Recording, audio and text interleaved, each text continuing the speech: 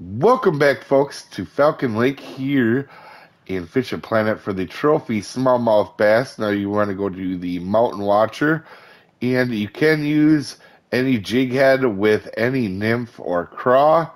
Um, also, if you have bass jigs uh, later on in the game, they will help you quite a bit. Any bass jig from 2.0 to 4.0 will really help here.